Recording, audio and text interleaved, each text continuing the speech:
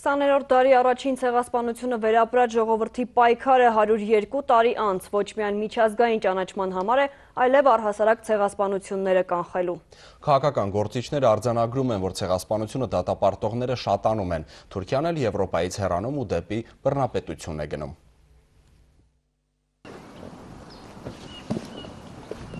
Ամուսինը կարդում է արձանի գրությունը, փոխանցում մոխիրներից հարնած մոր պատմությունը, կինը խոնավ աչքերը արջուկից չի հեռացնում։ Փոքրիկներն են խաղալիքներ բերում ցեղասպանությանը զոհ գնացած երեխաների հիշատակին։ Իր երեխային փրկող մոր հայացքից ուղակի փշակ հաղվում է։ Բոլոր այն կարևոր իրադարձությունների ժամանակ, որոնց ընթացքում հարկավոր է շեշտել հիշողությունը, այն կլինի իմ բաճկոնի վրա։ Հարյուրերորդ տարելիցից մինչև հիմա անմոռուկը կրծքից չեն հանել ոչ միայն հայ պաշտոնյաները։ Կարևոր իրադարձությունների ժամանակ ցեղասպանության խորհրդանիշը Եվրապատգամավորի բաճկոնին է։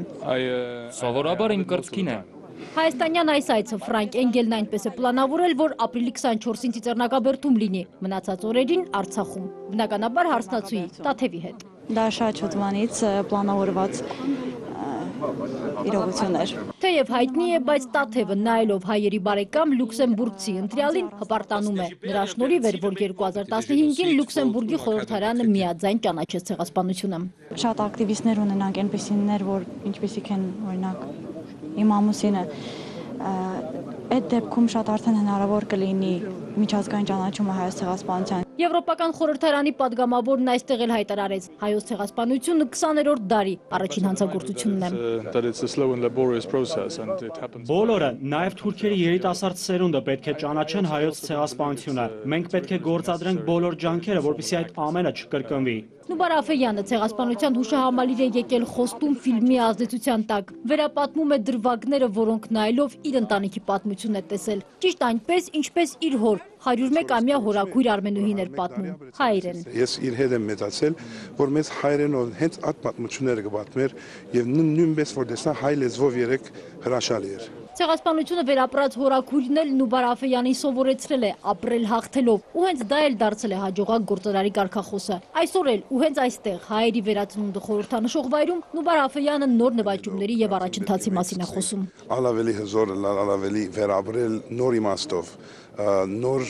պապակներ ունենալ, նոր հաջողություններ ունենալ եւ ընդհանրապես իբրած ծորանալ համաշխարհային մագարտակով։ Գործընկերոջը Ռուբեն Վարդանյանը լրացրեց. կարող ենք հաջող լինել ու վերացնել բոլոր դժվարությունները։ Ինքն ու Նուբար Աֆեյանը մոտ 20 տարի առաջ ծրագրեր սկսելիս գիտեին, հեշտ չլինելու, բայց որոշել էին ու առաջ շարժվել։ Հիմա էլ է ասում. հիշենք կրած ցավն ու առաջ գնանք։ Մյուս կողմից մենք անում ենք առաջ, ասում ենք ոնց անենք, որ աշխարհը զգա, որ մենք վերածնունդ ենք ապրել եւ անցել ենք այս ահավոր ճանապարհով ու դարձել ենք հաջողված առաջ նայող հասկ։ 20-րդ դարի առաջին ցեղասպանությունը վերապրած ժողովրդի պայքարը 102 տարի անց ոչ միայն միջազգային ճանաչման համար է, այլև առհասարակ ցեղասպանությունները կանխելու։ Քաղաքական գործիչներն արձանագրում են, որ ցեղասպանությունը դատապարտողները շատանում են։ Թուրքիան էլ Եվրոպայից հեռանում ու դեպի բռնապետություն է գնում։ Սահմանադրական այս հանրակրեն հենց այն վերջին քարներ, որը դրեց Էրդողանը եւ նրա կուսակցությունը Թուրքիայի դեպի Եվրոպա ճանապարհին։ Հայ ժողովուրդն է ցեղասպանությունների միջազգային դատապարտման առաջամարտիկը։ 2015-ին հոր հետ այսօր ընտանիքի անունից Շարլ Ազնավուրի որդին է։ Նիկոլայ Ազնավուրը ծաղիկներ կխոնարի անմար կրակին ու մտքում կարտաբերի հանուն ուժեղ Հայաստանի։ Գլխավոր ուղերձը սա է։ Հորից եմ իմացել ինչպես է տատս ցեղասպանության ժամանակ կորցրել ընտանիքը։ Իմ եւ ընտանիքիս համար շատ կարեւոր է այստեղ լինելը։ Աջակցելու ենք, որ Հայաստանը հզորանա։ Սկսվում է փառաբանությամբ, ալելույայով, իսկ հետո շարունակվում է հրաշացան, պակուցման, բազմություն, երկնային։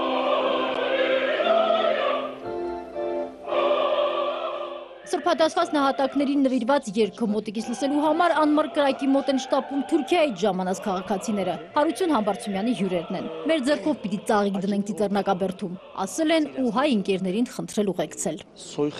Հայ ժողովրդի սուքը իմ սուքն էլ է, ցավը իմ ցավն էլ է, անկախ նրանից ինչ ազգության ենք։ Սա պիտի միասնության օր լինի, որ այլևս չկրկնվի։ Կարողանում ենք պաշտպանել մեր երկիրը, որպեսզի նույն ոչիններ չկրկնվեն Զորքը դեպի անմար կրակ ուղեկցող գլխավոր շտաբի պետը տեղեկացնում է։ Այս գիշեր սահմանին կրակոցները շատացել են։